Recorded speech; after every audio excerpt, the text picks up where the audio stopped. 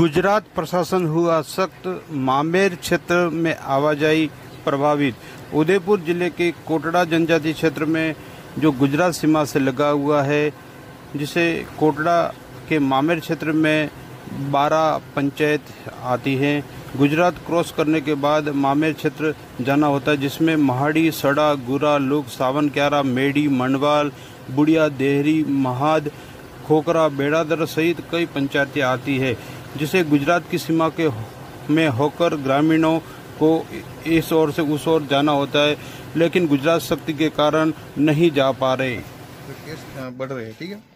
तो उसके हिसाब से हमारे सर को बोल दिया गया है कि भाई यहाँ से कोई अंतर्राज्य जो बॉर्डर भर्ती है, उसको आने जाने के लिए को जो आते जाते रहते हैं, लोग पास वाले भी, मगर जो चाली पास बना के भी घूम रहे हैं ठीक है? तो उसके हिसाब से किसी को जो अपना सही लगे, एसडीएम का ऐसा पास हो तो उस लोगों को ही जाने देना है।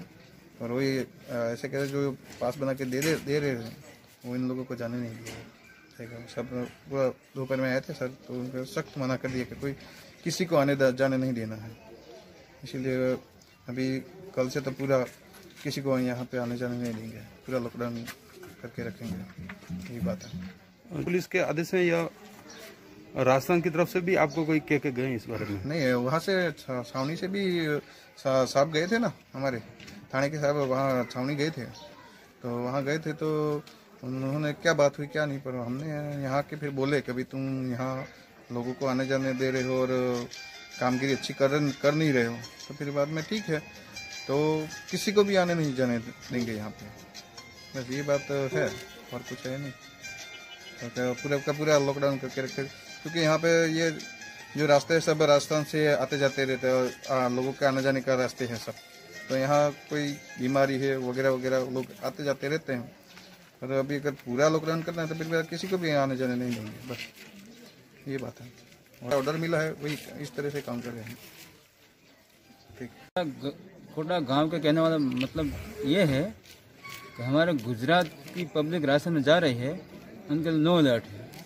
पास बताते हैं, आधार कार्ड बताते फिर भी मना कर रहे हैं कोटड़ा पुलिस, राजस्थान पुलिस। तो हम गुजरात वाले यही कर रहे हैं। हम भी गुजरात में आने के लिए मना करेंगे।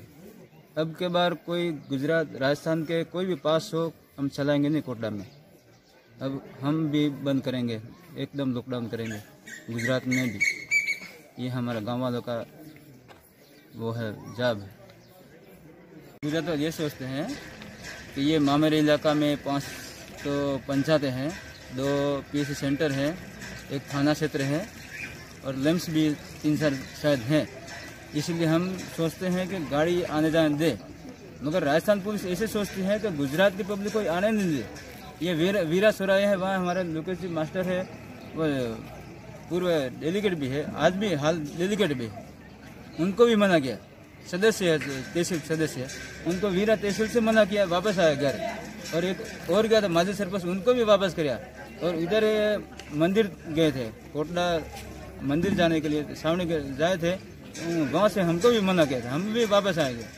तो हम क्या करेंगे, हम गुजरात वाले राजस्थान में नहीं, नो एंट्री कर रहे हैं तो फिर हम गुजरात में कैसे आने दें हम भी ऐसे, कल से ऐसे लॉकडाउन कर रहे हैं तो राजस्थान के एक भी चकला भी नहीं आने देंगे इधर। मेरा नाम मोहम्मद अकरम है, सामाजिक कार्यकर्ता हूँ मैं। से कोटड़ा उपखंड मुख्यालय में छियासठ ग्राम पंचायत है। उसमें से 12 ग्राम पंचायतें जो है मामेर बेल्ट की, वहाँ जाने के लिए हमको गुजरात का कुछ हिस्सा पार करना पड़ता है। तो कोटड़ा गढ़ी एक स्थान है जहाँ से हमको गुजरना पड़ता है। करीबन छः से सात किलोमीटर गुजरात में चलने के बाद फिर से राजस्थान स्टार्ट हो जाता है और वहाँ पर बारह ग्राम पंचायत करीबन साठ से सत्तर गाँव आते हैं। तो आम जन या हम भी कोई जैसे कि सामग्री लेके जाते हैं, जैसे कि आज के वाक्य बताऊँ मैं, हम जैसे राहत सामग्री लेके गए थे स्वच्छता किट। तो गुजरात के कोटरागढ़ी में हमको रोक दिया गया और कहा गया कि भाई आप अपने राजस्थान की सीमा में होकर जाइए। तो राजस्थान की सीमा में होकर जाने का मतलब ये है कि आपको करीबन 10 से 12 किलोमीटर एक्स्ट्रा अलग से चलना पड़ेगा, आपका समय भी बहुत ज़्यादा लगेगा और आगे जो राजस्थान वाला रोड है वो कच्चा रोड है।